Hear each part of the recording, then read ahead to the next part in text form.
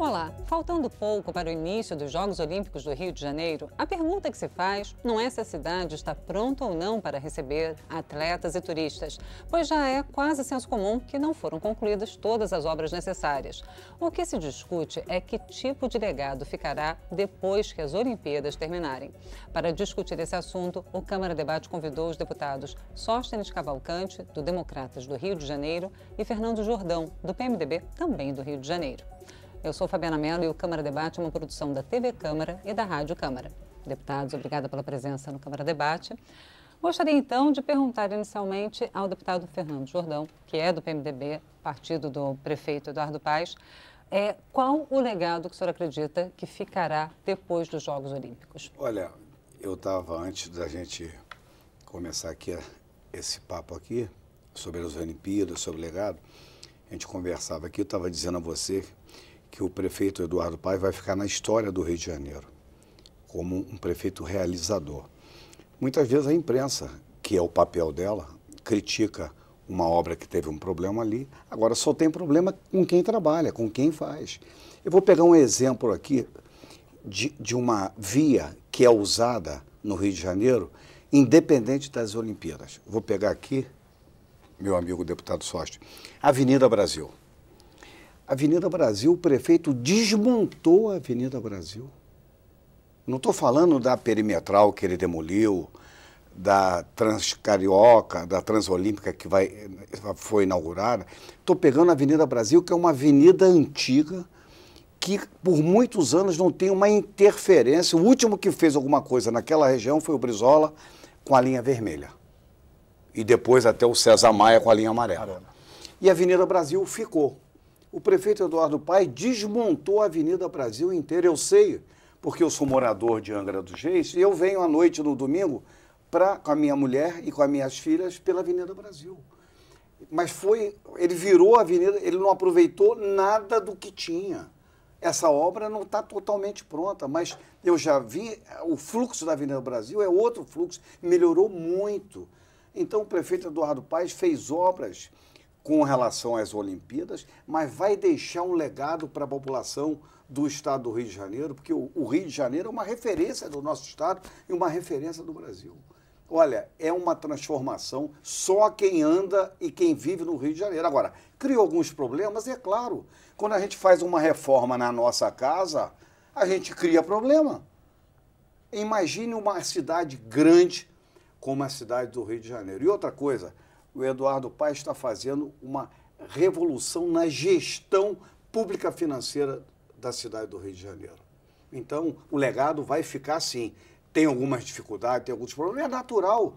Eu vou repetir, só acontece com quem trabalha, com quem faz. Quem não faz nada não pode reclamar de que não tem problema. Obrigada, deputado Fernando Jordão. Passando para o deputado Sócrates Cavalcante. Que, qual o legado, na é, opinião do senhor, vai ficar? Honestamente, inicialmente, dizer de que o Democratas hoje também é parte da base do governo do prefeito Eduardo Paes.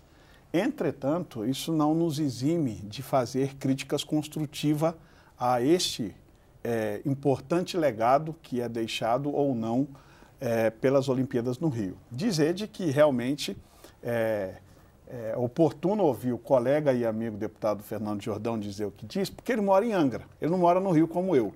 Se morasse no Rio, você ia ver a realidade da vida do cidadão carioca, que é um desafio com esse tal desse bendito legado olímpico. É, dizer que reconheço é, que o, o, prefeito Eduardo Paes é um homem trabalhador, um homem decente. Entretanto, este legado não é. Eu, eu tenho sérios questionamentos contra esse legado. O, o, primeiro questionamento é o legado esportivo. Eu não consigo entender. E a gente tem que ir na história da Olimpíadas. Essa Olimpíada nasceu de uma aliança, uma aliança que fez o Brasil chegar no caos que está, que é a aliança PT-PMDB. Eu me lembro muito bem no dia que todos festejavam lá do outro lado do mundo, na, na Europa, no dia que as Olimpíadas veio para o Brasil, que estava ex-presidente Lula, é, to, todo, é, é, essa, essa, aliança que fez o Brasil chegar onde chegou.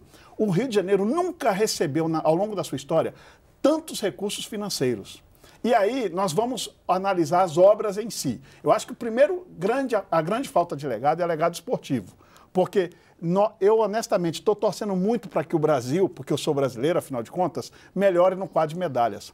Mas eu não vejo as escolas. A meta, a meta é chegar entre os 10 primeiros, é, pela primeira vez. Né? É, eu não vejo as escolas envolvidas com desenvolvimento esportivos. É mais nem sequer, e aí eu quero botar também a culpa no governo federal, o Ministério da Educação deveria, ao longo desses anos, desde que foi decidido ter, termos Olimpíadas, é, nós deveríamos ter nas escolas públicas, já do ensino fundamental, é, a formação desses atletas, que não foi feito nada pelo governo federal também. Então, qual é o legado da parte esportiva? Honestamente, estou torcendo para que aconteça e, e que eu queime a língua aqui, mas eu não acredito que nós vamos nos posicionar muito melhor por conta de que nós não fizemos o dever de casa nem sequer no trabalho de esporte na base. Quanto às obras em si no Rio de Janeiro, eu, particularmente, é, é, acho que eu fui sempre crítico de algumas atitudes, fui crítico da PP e agora está aprovado com a violência no Rio, que é o PP, foi feita na contramão, acho que deveríamos ter polícia ostensiva embaixo para depois ter o PP,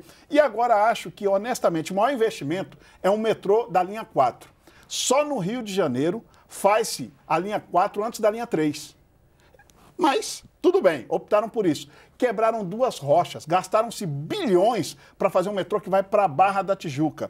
Eu moro, eu moro na Zona Oeste, eu moro no Recreio dos Bandeirantes. Honestamente, um morador do bairro onde eu moro e da Barra, para ir para o centro usando o metrô, eu preciso ver para crer. Eu preciso ver para crer. Eu acho que o Rio tinha outras prioridades.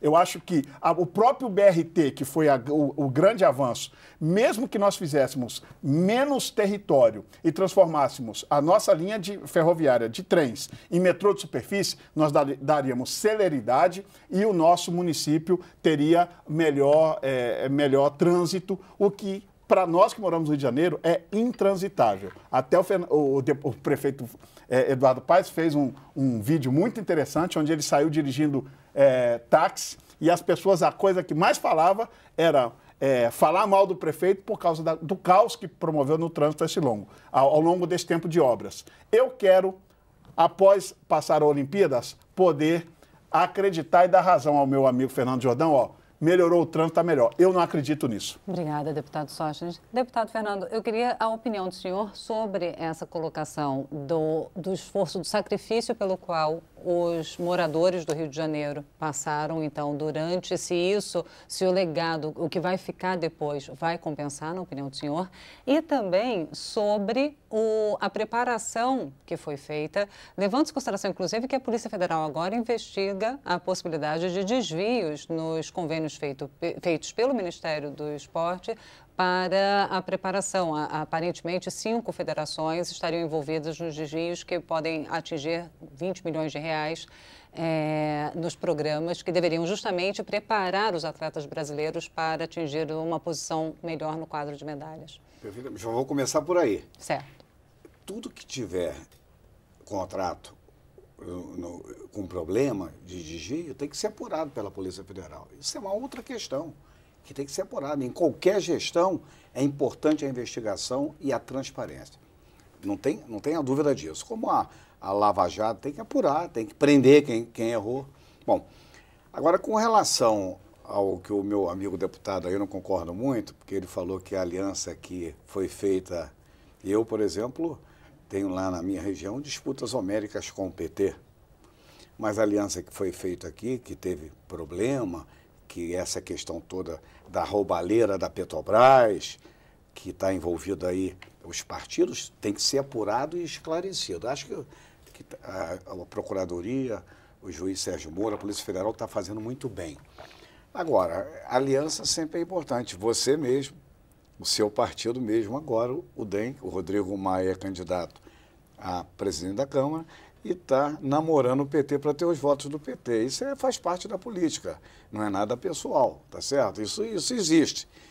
Mas com relação ao legado da questão da, dos, dos equipamentos, olha, eu sobrevoei, eu moro em Angra, mas tenho um apartamento também no Rio, tem minha vida um pouco no Rio de Janeiro. Claro que eu sou, minha terra natal é Angra dos Reis. E eu tô, usei, usei o exemplo da Avenida Brasil porque que é, que é, é uma via é uma via que usa quem vem de Angra, quem vem da Baixada, quem vem da Zona Oeste, quem vem de Caxias, de Nova Iguaçu, quem vem de tudo que é lugar. É uma via fundamental para a circulação de transporte do Rio de Janeiro. E o Eduardo Paz está dando um show lá. Com, com relação ao legado é, de obras, poxa, é, outro dia a gente estava mais uma vez vindo de Angra, ele acabou de inaugurar agora a Transolímpica, que você vai de Deodoro até a Barra, uma via expressa, com túneis, uma coisa bem feita. Então, é um legado. A Avenida Brasil será um legado. Os VLTs que estão sendo feitos no Rio de Janeiro. É a única cidade no Brasil que funciona o VLT. Nós estamos ainda funcionando experimentalmente. E o VLT não é obra para turista? Você não, não é obra para turista, é obra para quem anda no centro do Rio, é anda para o morador. E se for para turista, não a, é bom? A 5 km por hora, que velocidade Ué, tem Mas é, é, é, isso é, é, é, um transporte que é usado em Genebra, usado em Berlim, usado em Nova York, usado no mundo inteiro. Mas qual, o que, que você tem contra o turista? O turista é fundamental para a economia do Rio de Janeiro. O turismo hoje é uma das indústrias mais importantes se nós sabemos usar, mas ela vai transportar o trabalhador que está trabalhando nas repartições públicas do Rio de Janeiro. Você pegar um, um VLT do, da rodoviária até o centro do Rio, o, a pessoa vem da Baixada, da Zona Oeste, vem lá da sua região, lá do, da é, Caxias, né? De Caxias, solta na rodoviária, pega um VLT, está no centro do Rio para trabalhar numa velocidade que é a velocidade de VLT no mundo inteiro. É um transporte seguro e direto. Quer dizer que é, é, um, é um, um avanço no transporte de massa. O Rio de Janeiro há muito tempo não tem investimento em transporte de massa. O, o governador que saiu, o governador Pezão, que foi vice-governador, e juntamente com o Eduardo Paes, está fazendo essa revolução. Por exemplo, vamos pegar agora os equipamentos esportivos que é que, é que você achou a gente passa mais uma vez na linha vermelha, vê as escolas integrais que o prefeito está construindo. É, é, é, uma, é uma. Agora, a educação precisa melhorar, a saúde precisa. Eu sei que precisa. E eu sei que Deputados, ele está no caminho. A gente vai fazer um rápido intervalo e, na volta, eu quero saber do deputado Sóstenes Cavalcante sobre o projeto que ele apresentou, que pretende que a, o povo participe da decisão do país se candidatar para novos eventos do porte das Olimpíadas e da Copa do Mundo. Parabéns. Então, o Câmara de Debate vai fazer um intervalo. Então, a gente vai fazer um rápido intervalo e a gente volta já já para ouvir mais sobre esse projeto. Não saia daí.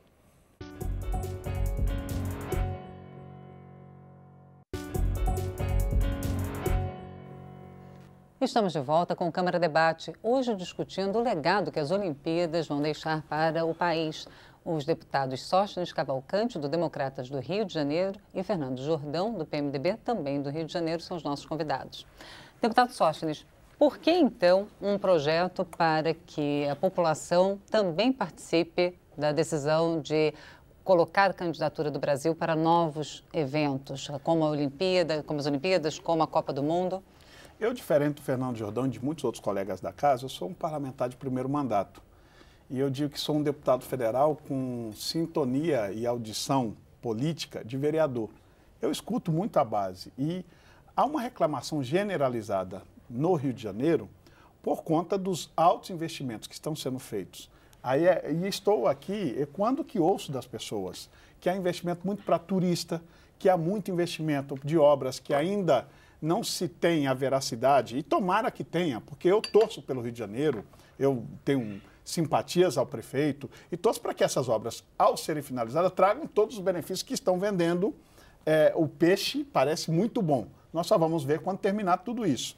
É, a, a, o momento é de reclamação generalizada do cidadão carioca.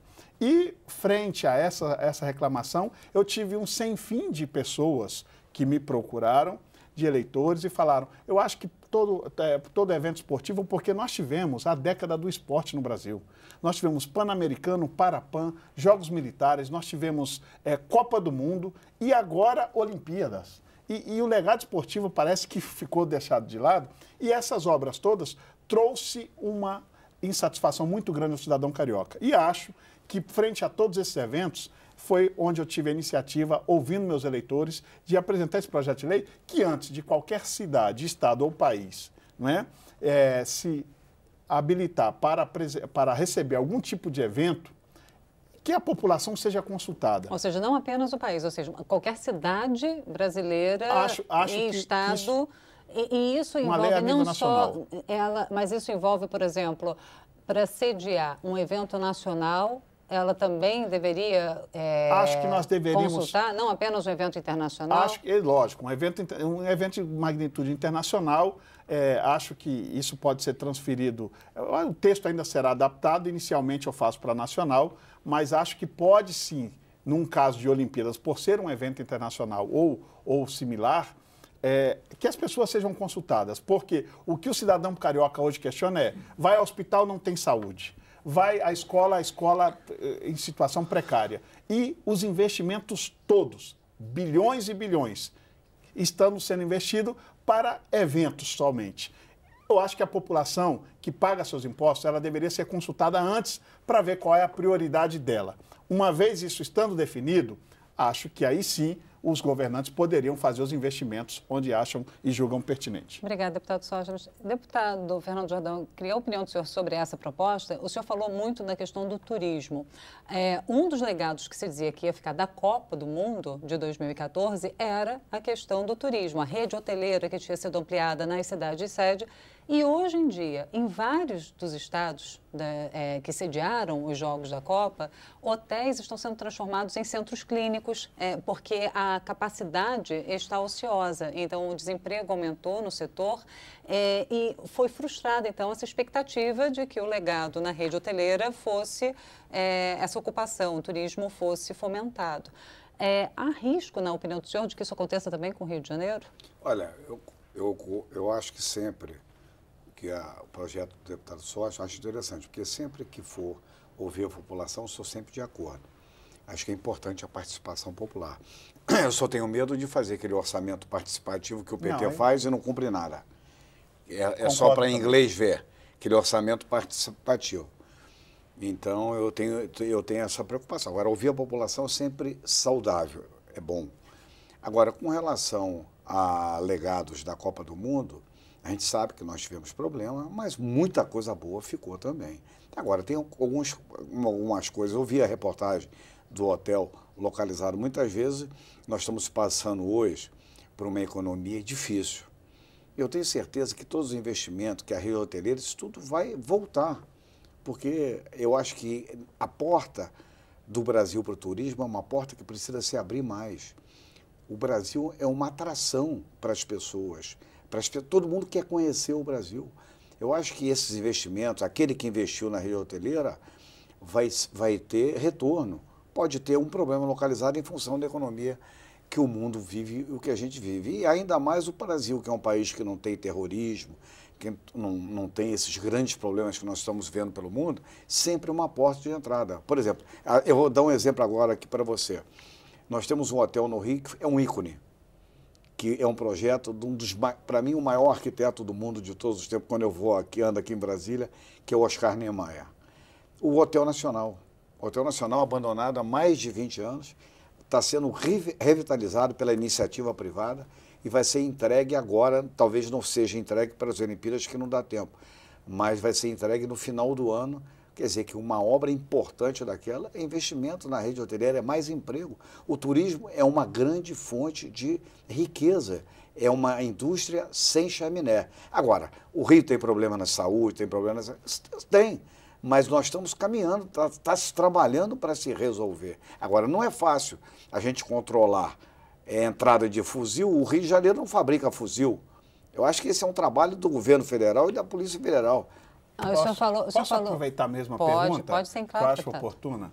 Nós não teremos, e o Rio é um atrativo, eu, eu amo o Rio de Janeiro, acho que é uma das mais belas cidades do mundo, temos pontos turísticos fantásticos, mas nós não teremos, deputado Jordão, turismo crescente no Rio, além do que já temos, enquanto nós tivermos a insegurança que se tem no Rio de Janeiro. Eu concordo. Nós, nós precisamos encarar as problemáticas, em, em especial da vida do cidadão carioca, como prioridade. Acho que o turismo é importante, sim, mas enquanto nós não resolvermos o nosso problema, é por isso que vem o meu projeto, para a gente ouvir a população, porque às vezes o governante, e, e sei da sensibilidade que tem o nosso prefeito Eduardo Paes, é, é uma pessoa próxima, um trabalhador intenso, mas às vezes o, o poder te isola é, de, de determinada forma que você perde um pouco a sensibilidade do que o cidadão quer. O cidadão carioca quer sim o turismo, mas não quer elefante branco. Olha a Copa, o legado da Copa. É, é, é, nós temos arenas enormes no Amazonas, nem time de futebol tem. O que estão fazendo com aquilo? Alugando uma vez a cada podia tanto ser, um time jogar. Podia ser menos... É, menos estádios. estádios poderia. É Brasília não tem time de futebol, está aqui uma nega rincha e, e, e, nós estamos vendo. Agora estão sendo utilizados, inclusive por causa de clubes cariocas que, por, por conta da Olimpíada, quando passar isso, o que serão desses estádios? Agora, Gente, agora... isso é dinheiro público, isso é dinheiro de impostos. E as pessoas estão precisando é de saúde, de educação. Lógico, esses eventos são importantes, mas vamos consultá-los primeiro. Se a população achar que isso é mais importante do que a saúde do dia a dia e do que a educação e a sua segurança, aí ok, vamos pensar Agora, a posterior no evento. em 2013 foi um dos motes das manifestações populares em junho, né? É. Os cartazes diziam queremos educação outra... padrão FIFA, queremos saúde padrão FIFA, transporte padrão FIFA. Fabiana, e com relação ao que o, que o deputado concorda, se você quer tratar bem o turista, antes você tem que tratar a nossa gente. Pode. Agora, é verdade. Agora, tem, tem falhas, mas eu acho que o Rio avançou muito. A cidade do Rio, o estado do Rio avançou. A, a segurança hoje, a UPP, ela se demonstrou no primeiro momento é, é, eficiente, mas depois nós vimos que migrou muito para o interior. Isso espalhou, precisa, precisa, precisa ser corrigido. Para o Nordeste, inclusive. Agora, a gente, tem um, a gente tem hoje um secretário de segurança que é inconteste, é um cara correto. E a gente sabe mas que a corrupção tá, dentro já, dos jogos hoje. de você já disse é. que ele está na Berlinda, é. que vai ser o próximo a ser demitido. Mas, mas deputados, é, mas é uma pessoa séria que, não, que avançou. Eu não queria okay, deixar mas de tocar. deu resultados. Eu queria não deixar dentro da questão de segurança de tocar num ponto que está sendo questionado também na imprensa nacional e internacional, que o senhor mencionou rapidamente, deputado Fernando Jordão, que é, o senhor falou que o Brasil não enfrenta o problema do terrorismo como outros países na Europa e nos Estados Unidos. Atualmente, a Polícia Federal monitora cerca de 30 indivíduos e há um no Sul que usa tornozeleira eletrônica, de acordo com relatos da imprensa. Um italiano, né? Não, um brasileiro que teria passado ah. três meses, de acordo com o relato de uma revista, teria passado três meses em uma cidade na Síria e, ao retornar, a Polícia Federal teria descoberto que ele praticava tiro com espingarda ou rifle durante a madrugada. Então, ele está, sendo estaria monitorado. sendo monitorado com tornozeleira. É, a, há um risco, há uma, uma, preocupação muito grande com a eventualidade de um ataque terrorista durante as Olimpíadas pela existência, Não. pela presença. É, o, que, o que eu coloquei na questão do turismo, né? O Brasil é um país hum. de, de paz. Sim, mas aí, para a gente finalizar, eu queria perguntar: dentro, o senhor falou, deputado Sóstenes, que a saúde está é, em uma situação caótica no Rio de Janeiro. Se houver um ataque, se, na iminência de ocorrer algum incidente desse tipo, o Rio teria condições de atender a população se acontecesse dizer, algo como em Paris em novembro? Talvez eu, não soube me expressar com, com eficiência. A, a, saúde é um caos em todo o Brasil e não é diferente no Rio de Janeiro, apesar de todos os esforços concentrados, não está bem. Não adianta dizer que é está, que o cidadão verdade. fala isso. Então nós precisamos encarar as nossas realidades. Eu faço uma crítica muito construtiva aos, aos governos, até pela amizade que temos e aproximação. Agora, é, eu espero que nós, que uh, os agentes de segurança, e aí não é só uma responsabilidade do Rio de Janeiro, acho que aqui Força Nacional de Segurança tem uma responsabilidade muito grande, institutos é, não é, como a BIM e outros que investigam é, possibilidade de terrorismo, e aí nós temos que também colocar o dedo na chaga. Nós estamos saindo de um governo é, não é que estamos num governo transitório a nível nacional, mas o governo da esquerda nunca quis encarar a realidade do terrorismo como algo, até por identidades ideológicas com países alinhados com, com práticas terroristas. E isso é um risco. O Brasil tem riscos, sim, como todo país que recebe grandes eventos. Eu acho que a gente tem que encarar isso como uma possibilidade e, honestamente, peço muito a Deus que não aconteça isso no Rio de Janeiro, porque nós vamos ter muita dificuldade. Acho que o Estado está se preparando. Muitos cariocas vão sair do Rio na época das Olimpíadas. É por isso que as, as escolas estão dando férias, férias. no período. Inclusive, de... muitos médicos voluntários estão, estão indo. Acho que, acho que nessa hora, a questão humanitária, num, num evento como é a Olimpíada, nós vamos ter condições de atender se acontecer um desastre desse. Você já está já preparado Acho que estão se preparando. A organização dos jogos ela é muito técnica e isso eu tenho que reconhecer. O, o prefeito é um, um, trabalhador, como já disse desde o início, outras, é, outros órgãos, o, o próprio Rusman comandando o Comitê Olímpico. Acho que todo esse compêndio vai dar se acontecer um desastre desse, condições de atendimento. Obrigada, deputado Sócrates. Deputado Fernando Jordão, para concluir. Eu também concordo com o deputado. A gente sabe que a saúde precisa avançar muito, tem dificuldade, mas é, o, o, o Rio a gestão do prefeito Eduardo Paes, o Comitê Olímpico, estão trabalhando em conjunto com o próprio governo federal, com as Forças Armadas, com a Polícia Federal. Eu acho que a questão do terrorismo né, nas Olimpíadas, porque o, o, mundo todo vai estar com o olho aqui. É, é uma coisa que tem que prestar atenção. E se, se eu acho que não, nós não vamos ter nada, se tiver, está preparado sim. Eu tenho certeza que eles estão, o prefeito está pensando em tudo. O prefeito é um grande gestor. Tem as dificuldades, só erra quem trabalha. Quem não trabalha, não erra. Criticar é fácil. Parabéns ao, ao trabalho que o prefeito está fazendo. E eu sou testemunho disso, porque eu, vi, eu moro também no Rio, eu estou no Rio. Eu, tô, eu moro em minha vida em Angra, mas eu estou ando muito no Rio. E fomos visitar com o prefeito todos os equipamentos o, o, o, é, olímpicos. É um orgulho para o Rio de Janeiro ter os equipamentos que vai servir para depois para os estudantes, para os alunos. Deputados, muito obrigada pela presença aqui no Câmara Debate. Espero contar com os senhores em novas Obriga ocasiões. Obrigado vocês. Só para dizer que a minha crítica ela é construtiva, amistosa ao é, é prefeito, é assim, mas é para o bem do Rio de Janeiro. Deputado, é assim que se constrói, se melhora, ouvindo Pode. as críticas. Eu conversei com os deputados Sóstenes Cavalcante, do Democratas do Rio de Janeiro, e Fernando Jordão, do PMDB, também do Rio de Janeiro. Obrigada a você que nos acompanhou até agora. Lembrando que você pode conferir novamente essa e as outras edições do Câmara Debate na internet. O nosso endereço é câmara.leg.br barra Câmara Debate ou também no YouTube, no canal da Câmara dos Deputados. Eu sou Fabiana Mello, espero você em uma outra oportunidade. Até lá.